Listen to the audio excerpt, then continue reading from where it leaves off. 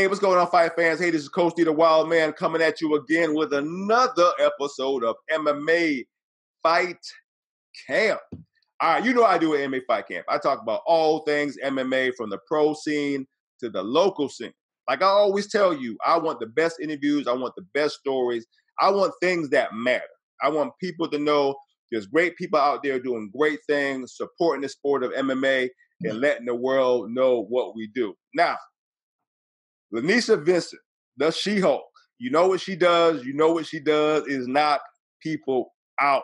So she's been going in the sport. You know, she just won gold in IMMAF. So I had a chance to reach out and find out that she's now getting the support she needs. She's now getting the backing to help her get to the next level that she needs to be as one of our up and coming stars. So here today, I'm talking with Anthony Norwood. Anthony has a has a great story. He, he's he's a man who's built it from the ground up, and now he's supporting the, the sport of MMA, and I want to hear more about him. So I brought him on the air so you guys can hear about him too. So Anthony, what's going on, brother? What's going on, man? How you doing? I'm doing great. So catch us up, man. What what is a a coach of of, of personal training getting into the sport of MMA? What made that happen? So uh, let me let me give you a quick background of Last Strike Fitness and, and the company that that I'm the owner of. So okay, you know, um, the company started five years ago. Um, initially, I just started off posting online videos of me working out, doing like extreme crazy stuff. People were like, man, you crazy for doing that type of workout. But mm-hmm. you know, I did it because it was fun. So someone reached out to me and said, hey, can I train with you? Okay, that's fine. Let's do this. So the young lady came in and trained with me, and then she said, "Hey, you should be a personal trainer." And I was like, "Oh no, not happening, not my thing." Right. Mm-hmm. So uh, I was like, you know what? Okay, let's give it a try. So I went, got the formal education, got certified, uh, became a nutritionist and all that good stuff, and then started training her. I, and, and you know, for word of mouth, you know, because I didn't have any marketing at the time. I was just, mm-hmm.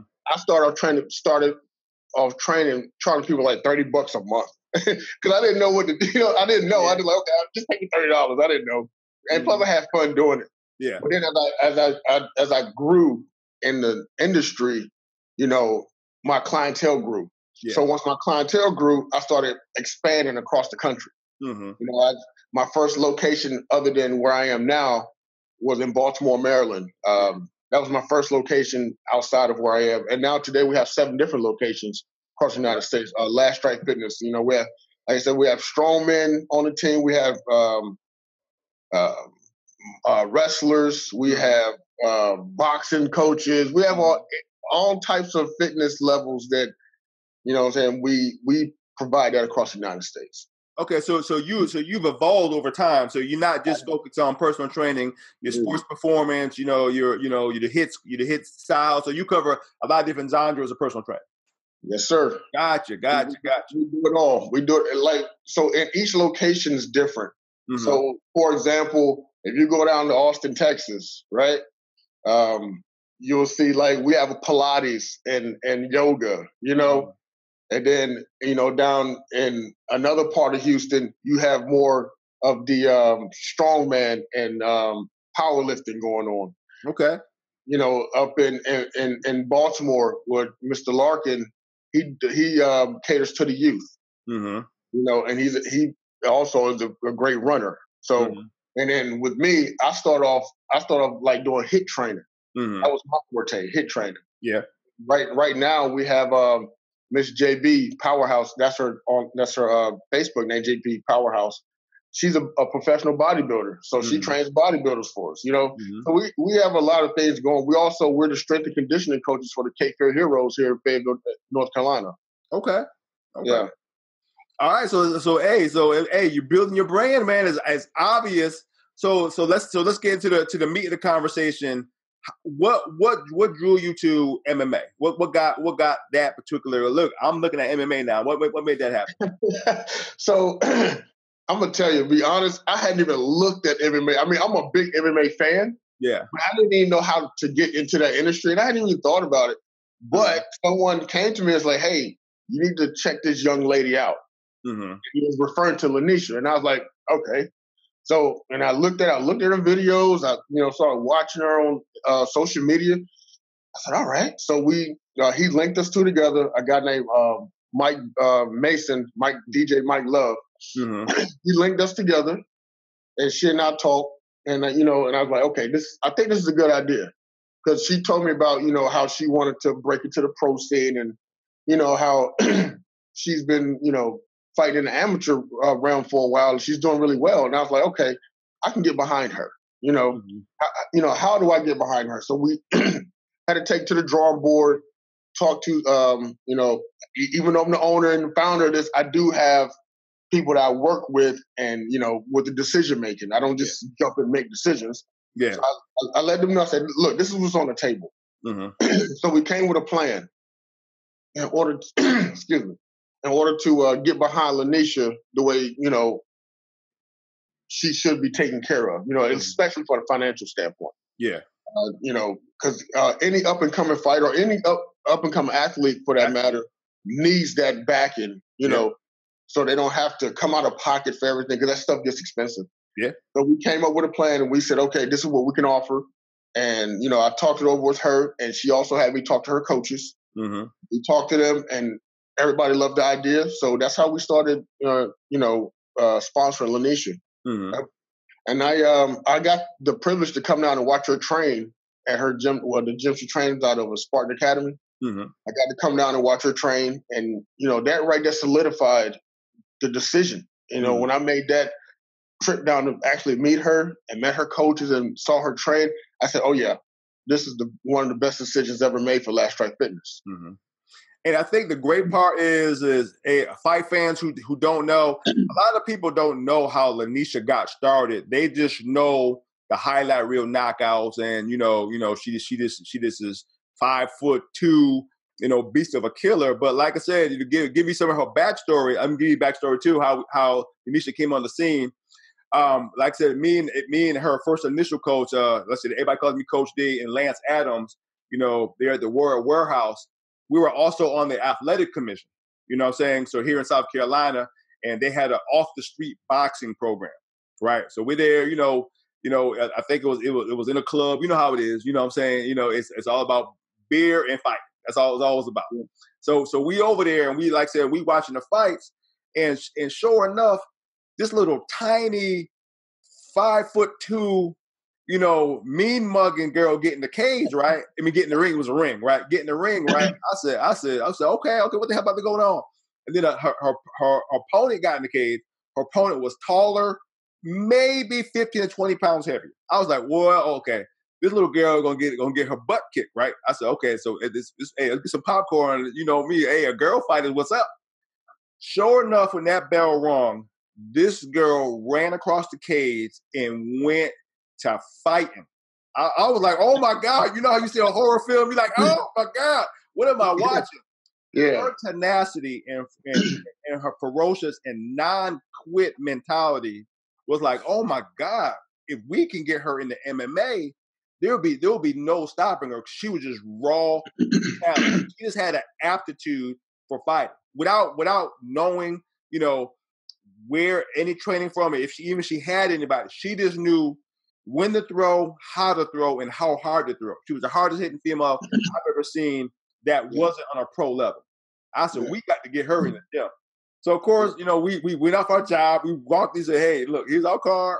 You know what I'm saying? Hey, if you get a chance, come to the World Warehouse, let's see what see what you got. But like I said, then a couple days later, we kind of forgot about it. Figured, hey, she wasn't about this life. Nope. Sure enough, she showed up. She showed up. But like I mm-hmm. said, and and and and the rest is history.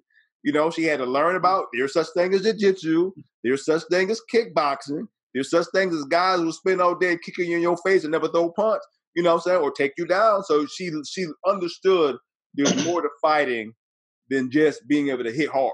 You know, and sure yeah. enough, here we are today. She went to she went to IMMAF with the international platform, you know, and she won gold.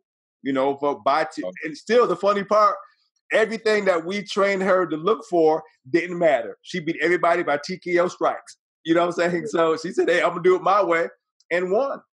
You know what I'm saying? So like I said, so we appreciate you. You definitely stepping up and you know and giving her support. I think she's gonna be one of the greats. I definitely think she's gonna be one of the greats. Yeah, I, I hope so. I hope I hope so. I, I, think she has the the tenacity to do it. I've yeah. seen her train, man. Like I said, I watched her train. Mm-hmm. I got to watch that. Mm-hmm. I was like, I was like, oh yeah, she she she has it. And the look in her eye, man, you know what I'm saying? You can I could look at a person and and it lets me know, and I look them in the eye and I can know if they're serious or not. Yeah. You know what I'm saying? And that comes that comes from the business standpoint of doing Last Strike Fitness. You know, it's a lot more to just fitness and all this. You know, it's a full fledged business now. Mm-hmm. So you know, I got to be able to read people. So I'm sitting there looking at her train and sitting there talking to her and looking her in her eye. She's the real deal. Yeah. Yeah. She is the real deal. And, and you can see that fire burning in, in her eye. You know what I'm saying? When you talk to her, she has that passion. Mm-hmm. So I'm more than happy to be one of her sponsors. So so now so now you you you you got quote unquote caught the MMA bug. I mean, are you going to kind of look back, look more into it, or are you going to that, that's a special project? If that project turns out well, you might look at you know another fight, another fighter. What's, what's your plans for the future? Well, it's funny that you asked that question. I'm actually looking to build a roster. Okay. Yeah. Okay. So my thing, and I talked it over with my COO. He brought, he actually brought this idea up. He's like, "Yeah, man, I think we ought to build a roster from this." Mm-hmm. Mm-hmm. You know, I think it's a really good idea. I think we do that. I think that you know, however, we're not just going to take, "Oh, I'm an MMA fighter, sponsor me." Yeah, it doesn't work like that. Yeah, you know no. what I'm saying? It, it doesn't work that way. It, you know, you have to have that fire, that tenacity, that that willingness to work. Mm-hmm. You know, it's all about your work ethic. Mm-hmm. And once we vet that, then yeah, we got it. Mm-hmm. You know, we could talk about numbers. We could talk about how the sponsorship works. Yeah. But also, he, uh, everybody, Anthony made a very good point that, like I said, got with me, and you know, being Coach D and do, you know, I, I have fight camp promotion, you know, MMA fight camp. So I do fighter promotions. What I do, I teach fighters how to brand, how to understand the name of the game. And so, but all all you fighters out there who, who like say, "Ooh, let me call this guy up." No, it ain't how it works. So all you gonna get is a business signal. Yeah, I said he he saw the growth of Venetia. Her her her her knockout traveled around the world and made it to his front door. So yep. he didn't pick up the phone and found Laneisha. Her social media growth found him. Yeah. So now you've got you understand that if you ain't out there making something happen, won't nobody know about you because else he would never have known if that that knockout around the world didn't reach him. So that's my little plug for right there for all you up and comers who think you're gonna dial this number. They ain't, ain't gonna work like that. that's not correct. But you know, I, I do want if there you know any fighters out there listening, don't be afraid to reach out. Mm-hmm. Don't because like the cliche says, closed mouths don't get fed. Yeah. And to every question that's not answered, the answer is always no. Mm. I mean, the question is not asked, the answer is always no. Excuse me. Mm. So you don't know until you ask that question or reach out. Mm. So don't, don't I don't want you to get discouraged saying, "Well, I'm not big enough, I'm not good enough." You may not know that. You know what I'm saying? I'm, I may see some, or one of my team members members may see something in you that you don't see in yourself. Oh. You know what I'm saying? All right. Well, hey, he just dispersed what I just said. Hey, we'll give him a holiday. in. Hey, can reach out to no, him. No, no, I'm not. No, no, I'm not going against what you just said. But what I'm saying is like what you said is, a valid point. Yeah. Very valid. Very valid. I'm what, what, I'm saying is like you don't just because you know say you, you may not have that highlight reel mm-hmm. doesn't mean you can't get there. Yeah. Yeah. You know what I'm saying? That's a better. That's a better way to say it. You can't get there. You know what I'm saying? So I, I was fortunate to find Laneisha at that stage. Yeah. You know, and it was a, by introduction of a of a, a mutual friend of ours. Mm-hmm. You know, someone reached out to me and introduced me to her. Mm-hmm. But you know, all you fighters out there, man, if that's something you you looking to do, you know, I'm not saying I'm not gonna sit here and tell you that. Yeah, I'm 100 percent sponsor you off the rip, man. Mm-hmm. That's not how it works. That goes back to what Coach D was talking about. But it's not. It doesn't hurt to reach out to try. You know what I'm saying? Yeah. Like I said, you know, closed mouths don't get fed. In order to grow, just brand yourself. All right. So when so uh, so uh, when when you play? Have you been to any events yet? Have you been to any MMA events yet? I have not, and uh, I'm gonna because I'm I'm I'm getting ready to leave here on Monday. I go to Afghanistan for eight months. Okay. Because I mean, I didn't put this out in the beginning. I'm still active duty military. You know, I didn't let the the, the, the audience know that, but I'm still active duty. You know, still and also runs this company, but I'll deploy on Monday and I'll be gone for eight months. So I'll miss her uh, upcoming events. However, I hope hopefully I can get some of my um, teammate members out there or staff out there to, to support her in the physical. If not, you know, we'll still support her in other other means. Well, hey, well, now that we hooked up, man, I'll make sure that you get everything you need. Cause like I said, you know, I travel and I make sure I, I keep all the news going. So anything she does, the news is gonna be out there. So you ain't you ain't gonna miss a beat, brother. You, you ain't yeah, gonna miss a beat. Don't worry about that. Hey, I want to say, hey, thank you for your service, man. That's what's up. Yeah, I appreciate that, man. Uh, well, thank you for yours too. Hey, you're ex-marine. Hey, you, hey, you, hey, you feel it, right? Hey, hey, like minds get together, as you can see. Absolutely, I like it, man. I like right, it. So, so, but so, other than going to Afghanistan, what's what's next for the company? Where, where, where you got you got new markets in mind? What's next? So uh, our next thing is like, so we have the clothing line also, right? Okay. Okay. And um, you know, our website, you go on the website order, you know, and my thing is to grow that. Is to grow the website, uh, the clothing line, and also we have a, a app coming out in the next six months. So that it'll be a fitness app, you know, coming out in the next six months. Um, for people to go online, they could look at, they could take the app, they can go look at daily workouts. Mm-hmm. Uh, they'll be able to track their their their body fat, uh, track their macros for people who understand what macros are. They'll be able to go track their macros, you know, and track their daily workout and, and track the, pro- the progression of their of their uh, their goals they're trying to reach. Okay. All right, that's what's up. Hey, you see, hey, people doing big things that you ain't know. You know what I'm saying? But like I said, when they, when they, when when Coach D hears about it, I'm gonna make sure the world knows too, because it, it's definitely what it is. So, uh, Anthony, once again, give us your name, give us your title, and give us your company. Yeah, Anthony D. Norwood. I'm the owner and CEO of Last Strike Fitness. Um, my uh, email for you fighters out there or anybody who wants to reach out to me, uh, catch me on email is um, laststrikefitness at gmail.com. Or you can um, hit me on Instagram at Last Strike Fitness on Instagram. Also on Facebook.